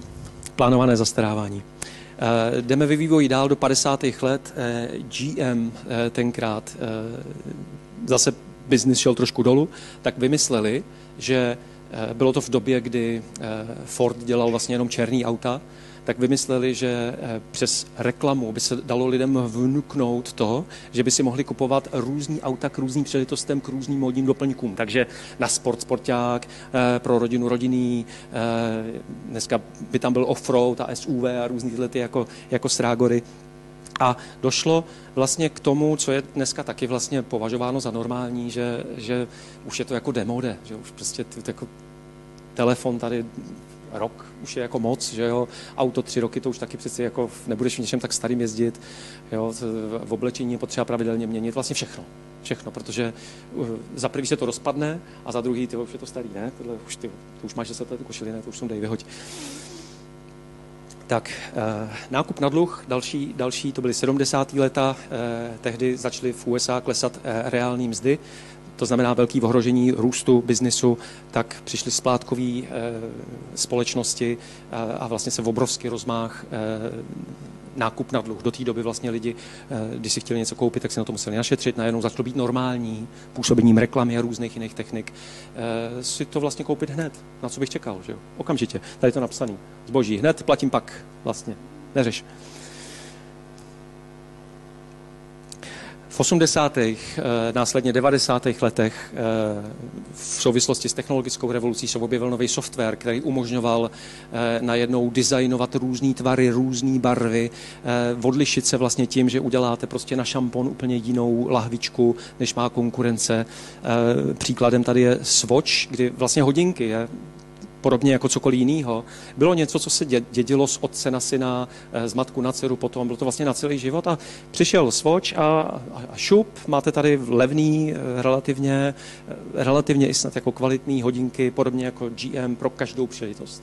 Takže k červeným šatům máte červený a k zeleným zelený a, a, a z, pro děti tady máte něco pro starý, pro holky, pro muže a bum. Strach v reklamě, to bychom teďka mohli vzít v naši, naši politickou kampaň. Eh, tady, tady byli eh, průkop, průkopníci Listerin, znáte Listerin? Eh, ústní vodu. Reklamníci, nevím, to bylo Sáči a Sáči, reklamní agentura tenkrát přišla za klientem, který vlastně nevěděl, jak tu ústní vodu prodat, s tím, že to řeší halitózu. A klient koukal, říkal, co to jako je? Našel odvahu. No, halitóza je zápach z úst. A vlastně vymysleli nový termín. Vymysleli vlastně jako potřebu. A jako, že, oh, ježíš, oh, oh, z pusy a business. Strach. A je to vlastně do dneška, vidíte, že to je jako funkční formulka. Vytvořte strach a nabídněte řešení. A vidíte to v té politice, je to obrovský. Prostě, že jo, úprchlíci a a vozvolte moji stranu a já vás zachráním. Tak, tohle, tohle si myslím, že je jako vel, velmi důležitý. Teď bych se možná vrátil někdy do toho 14. století.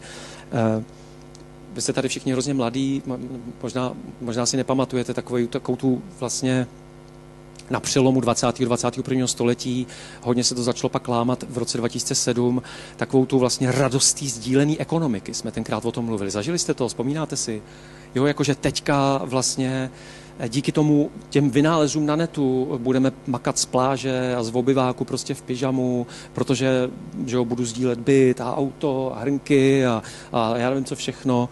A najednou uběhlo pár let a my jsme zjistili, že ne, nic takového se nekoná, není to žádná sdílená ekonomika, je to stará, dobrá korporace středověká, eh, starý, dobrý biznis, kde, když se podíváte na Airbnb, tak prostě obrovský protesty, eh, problémy prostě v centrech měst. Když se podíváte na Uber, tak brečící prostě zničený eh, řidiči, prostě prekarizovaná práce.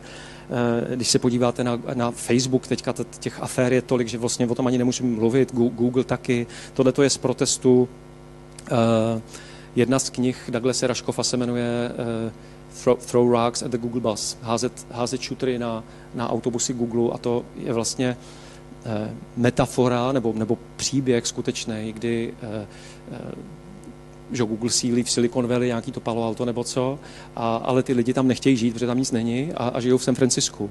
A, a aby mohli vlastně, eh, aby nestráceli čas, aby mohli ťukat i, i cestou do práce, tak Google vlastně jim zajiš, zajišťuje dopravu. Takže jsou Google, Google buses, který vlastně jezdí do toho San Francisca.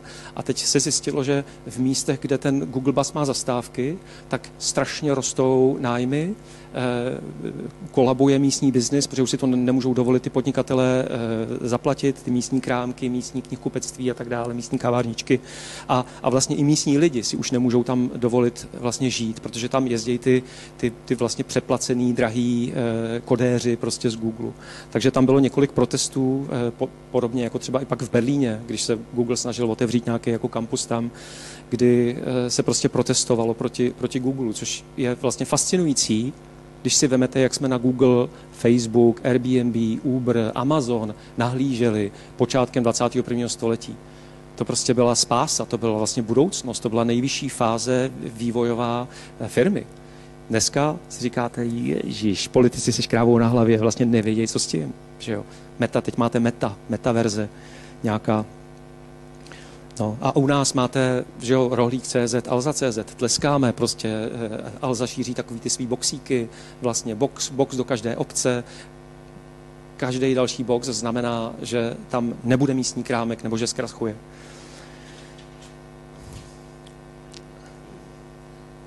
...1927, zrychluju, takže budoucnost nedáme. Poslední a nejpodstatnější eh, je politika ekonomické globalizace. Ahoj.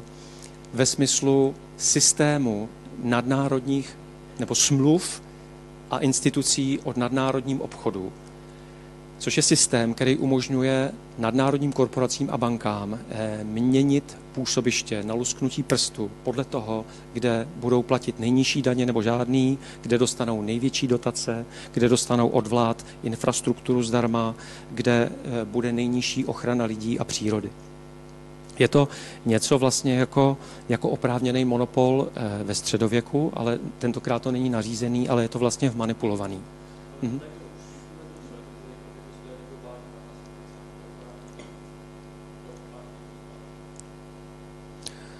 No ale furt nám to asi neřeší, neřeší eh, tohleto, ne? Si myslím. pro, já, zkusím říct, já zkusím říct proč, protože, a mám pocit, že je to zase vidět, když si, když si tu optiku vyladíte, že eh, tenhle ten systém eh, znamená, že velký se zvětšují a místní krachují nebo jdou, jdou prostě pryč. To znamená, že eh, a vidíte to globálně, vlastně to platí vlastně všude že krachují místní firmy, to znamená, že lidi se sami už neuživějí a jsou závislí na zaměstnání v těchto těch vlastně velkých zglobalizovaných korporacích. To jest, že politici jsou závislí na těch korporacích a vlastně se stávají de facto loutkama těch korporací, protože potřebují lidem zajistit zaměstnání.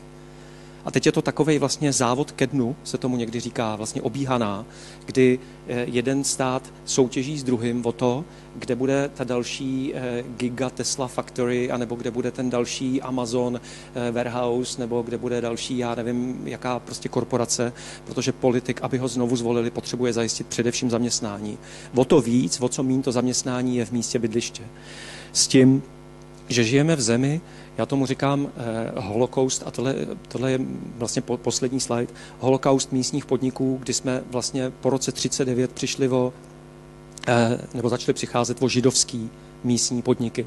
V roce 45 eh, šmahem o německý, eh, mezi rokem 48 a 52 eh, o český a po roce 90, co jsme se trošku nadechli, když přišly korporace, tak Walmart efekt ve velkým, tak jsme začali přicházet, taky vy to nepamatujete, ale to bylo v 90. letech, Hanka to pamatuje, eh, takové, takový to nadšení, jak vlastně všichni podnikali, v garážích se podnikalo, v kočárkárnách, v panelácích, prostě to bylo neuvěřitelné. A pak najednou přišly ty, ty, ty supermarkety a gigamarkety a vlastně je to tak nějak jako, jako pryč a větnamský večerky.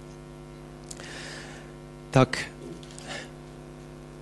a myslím si, že tohle je vlastně taková tečka zatím, eh, která vlastně to sumarizuje, eh, která říká, že když vlastně nakoupíte u místního obchodníka, tak ty peníze zůstávají doma eh, do velké míry, že, že ten místní obchodník, pokud je to opravdu místní, pokud je to váš soused, tak za to zaplatí kroužek vlastně svýmu děcku, koupí na to nějaký jídlo, dá se u souseda, pokud tam ten soused je.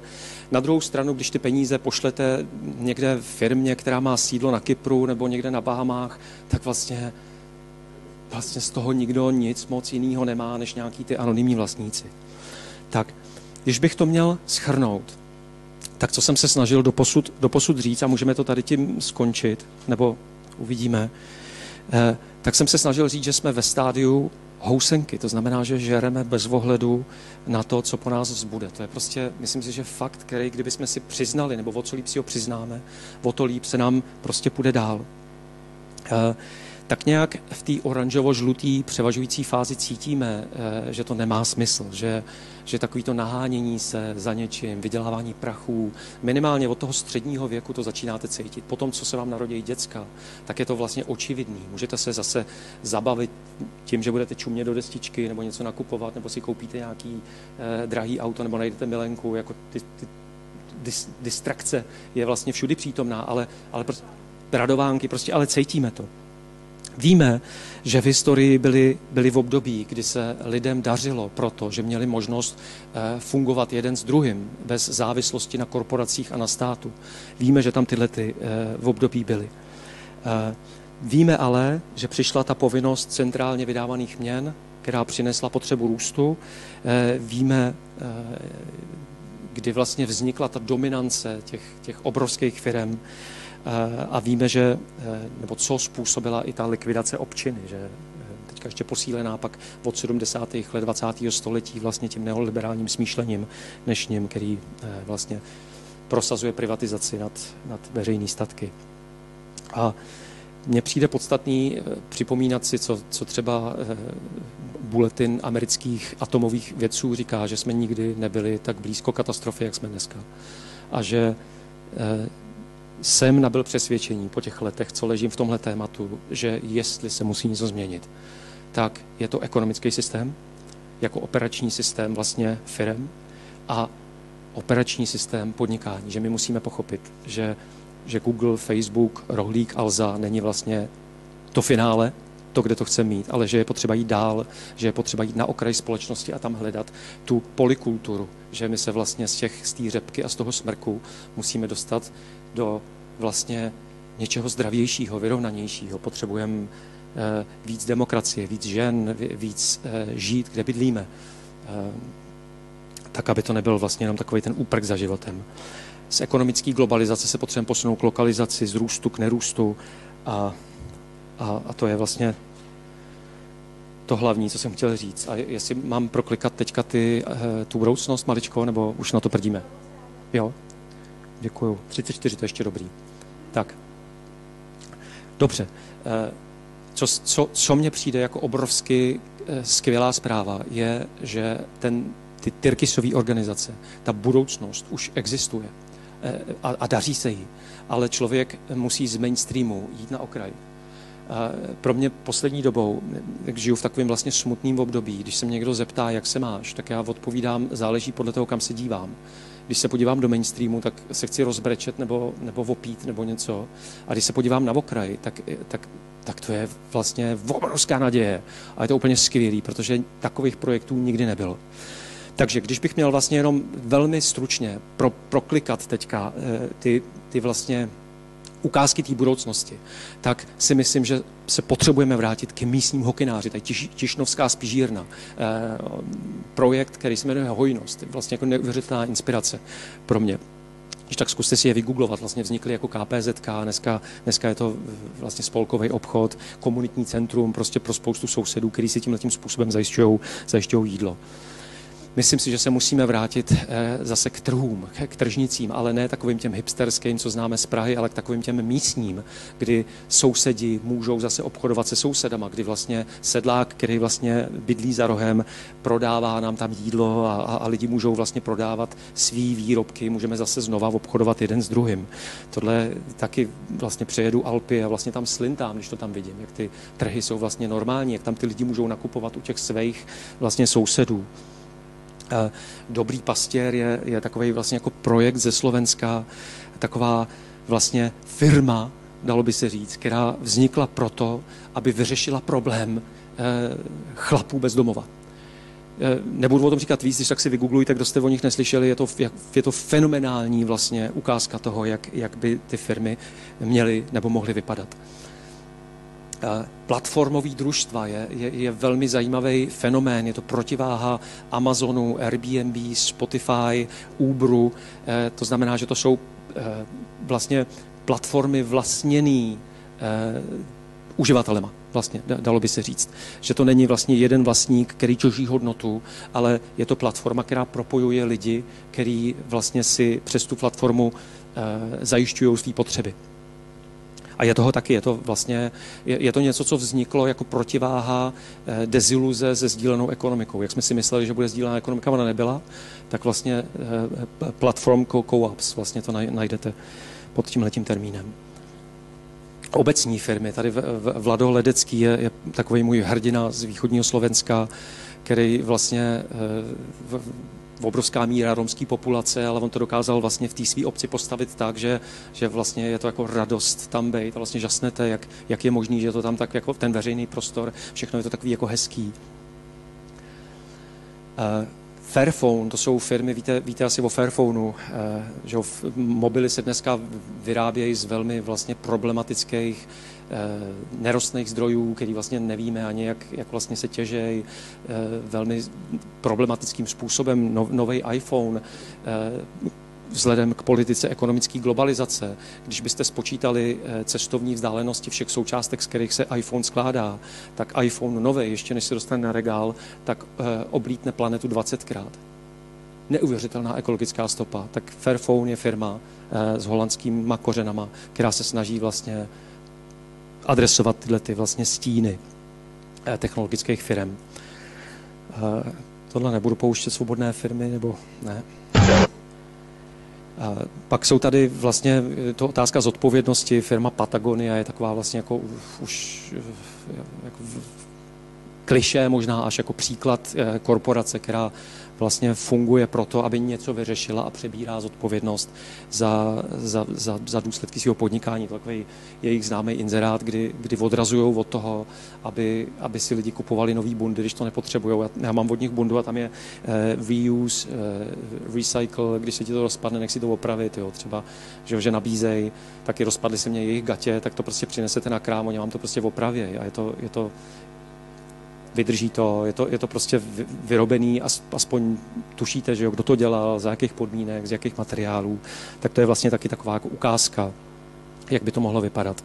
Tak, tohle byly čtyři otázky, které jsem si chtěl položit, snad se mi podařilo eh, je nějak zodpovědět, nevím. A tohle jsem říkal, že je vlastně pro mě nejpodstatnější slide, kde, kde mám pocit, že je to, je to vidět, ale, ale nevím, jestli, jestli, jestli je. Eh, přál bych si, aby bylo. No. A, a to je, to je všechno, že mě se to doma podařilo odříkat, ale k čemu to bylo, jestli mi bylo rozumět, to nevím. No. Co myslíte?